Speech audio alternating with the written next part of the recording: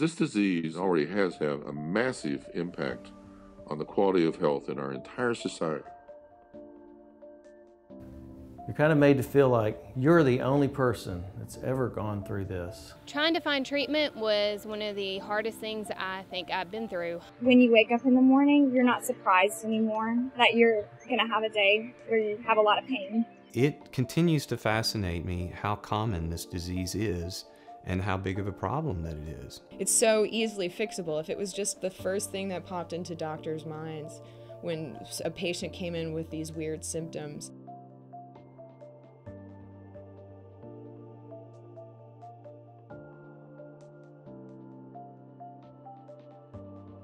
Lyme disease is a bacterial infection that's transmitted by ticks and it's caused by a spirochete, which is a spiral-shaped bacterium, and it causes a multi-system disease that can affect many parts of the body and cause many different types of symptoms.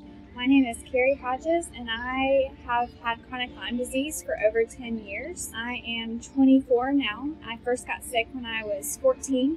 I was at my brother's wedding and woke up one morning and had a flu like illness with a really high fever, nausea, vomiting. A year after I first got sick, I started having extreme pain. That started the pain that I still have now. And the pain could, you know, be in my thumb for an hour and then move to my leg. And it was just very excruciating. So I'm Kerry Clark. I'm a professor of epidemiology and environmental health at University of North Florida in Jacksonville. Well, Lyme disease is probably one of the greatest diagnostic challenges that faces our, our medical and public health communities today. And one of the reasons is because the symptoms imitate so many other conditions. Often in early stages, people have general flu-like symptoms. So they'll have body aches, maybe fever, uh, sometimes neck stiffness. And so that's often not recognized as Lyme uh, unless there was a, a, recent tick bite history. As I would have new problems come up, I would go see a specialist. So I was having headaches, I went to a neurologist. I was having um, problems with breathing, I would go to a pulmonologist. So I was going to all these different specialists, and no one was really able to pinpoint why I was having issues. Sometimes people recognize symptoms right after a tick bite, and that makes it a little bit easier. And many times people don't get sick for weeks or months or maybe even years after they're initially infected. So my son had Lyme disease, and if just the slightest pinhole of light came through the window, it would cause him excruciating pain. Because of this, we had to cover all the windows in our house with fleece blankets just to block out enough light. Yeah, he, he couldn't watch TV for a year or a year and a half because just the tiniest amount of light would cause him excruciating pain.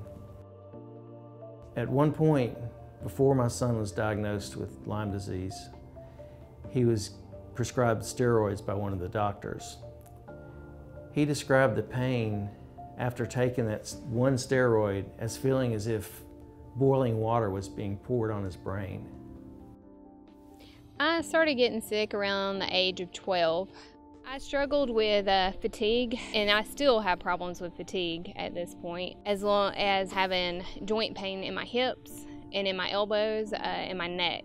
I think the disease really varies tremendously in its severity from person to person. I believe that some people can have very mild infection and live for years and years with Lyme. Other people become absolutely debilitated. It can affect the heart, and absolutely some people have died from severe cardiac manifestations from Lyme. Whenever I was in college, I had um, I started having some heart palpitations, even more so than I did as a kid, where episodes where I'd race and things just I would get kind of short of breath, but I thought it was normal for a while until one day it didn't stop. I had to have a ablation procedure later, which is where they went in and burned a couple places in the heart to help me keep a regular beat so it wasn't taken off to the races anymore. You know, it was just one thing compounding on top of another along with uh, short-term memory loss and you know knowing i was going somewhere I'd been a hundred times before and all of a sudden on the way there i couldn't remember how to get there when it starts to affect the patient cognitively then they become more aware of it and they, they get scared and that's when they really start seeking treatment I diagnosed the first case of HIV AIDS in North Carolina in 83, and that became my passion because it was the thing that challenged me. I think the second week or third week I was there, a, a woman walked in and, and said, uh, Do you treat Lyme disease? And I said, Well, this is an HIV clinic. She says, I know, but do you treat Lyme disease? So this lady asked me, Will you give me some tetracycline? So she's very directive. And I said, I'll give you tetracycline probably, but let's talk and let me examine you and let me, and then you will have to have some blood tests to make sure that you know, your blood works all right on the drugs.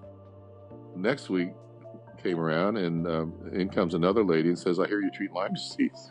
After I started listening to a few people, I thought, you know, these are sick people. There's something going on here. And then, you know, I just said, I think we need to do more tick checks. And that's how I got started because I found it more fascinating. So I eventually um, built a clinic, and at one point I had the largest HIV practice between Philadelphia and Miami, and I had the largest Lyme practice in the world.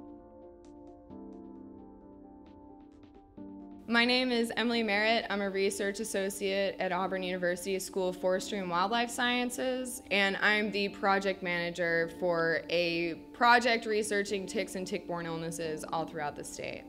The biggest thing I've become surprised about in getting involved with this is how much human doctors, they're either not aware of tick-borne illnesses in general or that they aren't as easy to teach as uh, like veterinarians or lay people that have been infected with the illness. I hear stories of people having more success going to vets to get treatment than to human doctors. I went to over 17 doctors. You know, it was just get referred from one to another. It took the vet I work for to be friends with the surgeon who was going to do the surgery to actually get a Lyme disease test even done. And it came back positive. I underwent lots of tests and saw many doctors from different specialties. At this point, I'd probably seen 20 doctors in various specialties. The other thing that's really fascinated me about Lyme is the number of people that are affected by it. We've known about Lyme for over 30 years. If we're having at least 300,000 new infections every single year, and if only 20% of those go on to develop chronic persistent infection, you can do the math pretty simply and you begin to realize that we have millions of people in this country right now who have Lyme right now. And that number, that prevalent pool, is increasing every single year. I was studying Lyme disease for approximately 15 years already when I, I encountered it myself very personally. You know, often people pursue a, a, vocation because of a personal experience or a family member affected by something, but that, that wasn't the case for me until um, the year 2010. I was investigating a neighborhood in northern Georgia and uh, collecting ticks and encountering many. I had several tick bites, and within uh, several days, I started having symptoms, flu like symptoms, swollen lymph nodes and uh, that was the beginning for me. And uh, for me, I, I got early treatment. Within a week, I was being treated for Lyme. Um, but unfortunately, that treatment didn't work, or it was already too late. And many months later, then I experienced other symptoms. The Lyme epidemic is different in the sense that our patients get rejected by doctors and by institutions. Some of the doctors in Alabama just can't find anything that supports the idea this can be a multi-layered, you know, complex neurologic, debilitating immunosuppressive illness. I do believe that Lyme is considered a real threat um, and, and a major epidemic problem. We need to do a lot more research, predominantly in the southern U.S., to obtain hard evidence of actual human infection with Lyme and document how prevalent it is. We also need more evidence showing it in ticks, showing it in different species of ticks that more commonly bite people in the south, perhaps, than uh, the ticks that are biting people mostly in the northeast. I think the evidence will drive all of that. When it becomes overwhelming, it can't be ignored. I can promise you that every single day that I've been here, I've had a patient from North Carolina, at least once a week, if not twice a week, from South Carolina, once or twice a week, somebody from Georgia, Alabama, occasionally Mississippi, occasionally Louisiana. It is everywhere. Find most surprising is that people don't know all that much about the, the risks of going outdoors, when the ticks are active, how to prevent getting bitten by ticks, and what to do to properly remove them. Many patients uh, with Lyme end up having to pay out of pocket for their treatment because uh, many physicians will not treat patients long term or their insurance companies will not cover the long-term treatment. But the treatments uh, begin to, to um, cause an incredible financial burden for patients. Many patients end up having to travel to the northeastern United States at tremendous expense um, to try to get the treatment that they need. In Alabama, we've had people who have lost all of their retirement. They've had to sell their homes. They couldn't afford utilities. So they've had utilities turned off. They've had to live out of their cars or out of their truck. And this is all because insurance would not cover their treatment. One of the most difficult things patients experience is the loss of friends and family members and other acquaintances. They just kind of drift off and it's almost as if they just become bored with the whole thing. It's so misunderstood, and so many patients are considered to be malingerers and psychosomatic and so forth and so on. This disease is so destabilizing, it's essential that the patient have strong, uh, reliable support because, um, in the worst case, you can't do anything for yourself. In many cases, you're compromised in just in doing basic tasks. You can't be treated for this disease as a sole individual. You need support. The reason I started the Alabama Lyme Disease Association was for my son's future. Specifically, I wanted to change the perception in the medical community and I wanted the public to be aware that we do have a problem here. My simple goal was to never hear the words that we don't have Lyme disease in Alabama. Before I started the association, I started a website that was called Lyme Stories. It was just an aggregate of stories that I found on the internet. And so many of those stories mimicked our own experiences. So we just branched out from there and just started reaching more and more people. Almost every person we would talk to would know someone who had Lyme disease. And so we'd go talk to that person and they would know someone else and we'd go to find a neighborhood that would have eight people on one street that would have Lyme disease. And so we'd find these little centers, these little networks of people, and we would find the center of that network and we'd start connecting everyone. And from that, we grew into what we are today. The mission of the Alabama Lyme Disease Association is awareness and education.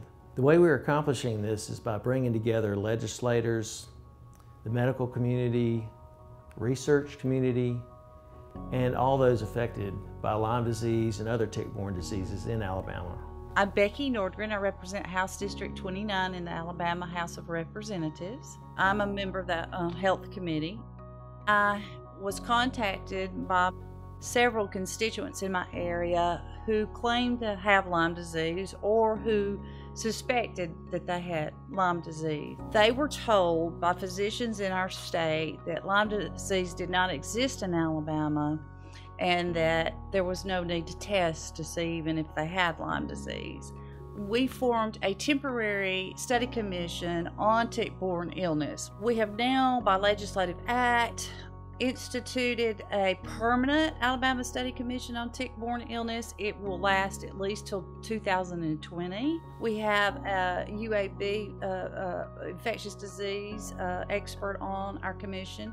We have an expert from uh, Southern Research uh, Company, uh, Senator Slade Blackwell, myself, um, and we invite every bit of information that any researcher wants to give us to put in our studies. The only thing that's going to help these patients that are hurting hourly, they're in intense pain and they're left on their own is for medical professionals to understand that the problem exists and for them to take an interest in treating these patients. So I talked to my son's Lyme disease doctor, the physician who's treating him for Lyme disease, about starting the Alabama Lyme Disease Association because I wanted to implement change for those affected by Lyme disease and other tick-borne diseases in Alabama. And when I told him this, he said, just please do one thing for me. He said, please provide hope for these patients. And they should have hope because there is hope and things are going to get better. There's definitely hope out there. Um, I'm so much better than I was to begin with. It's just, it's a long road. It's not a quick, easy fix. Um, if you can have supportive family and friends, it helps out a lot. You know, I, have been fortunate in that aspect, but, uh, and it's definitely a strain financially. Don't give up on it. The thing that got me out of bed was just being like, I have a future. I want to be a nurse. This is my dream. I have a lot of patients that come through and they may have chronic problems and they're very defeated and discouraged. I'm able to provide that care and compassion because I have been in their place. Let's get a handle on this. We need to do it while we have the resources and the uh, ability to do it and save a lot of lives. And we just need that person or persons who are powerful and dedicated enough to, to be a voice and, and demand change.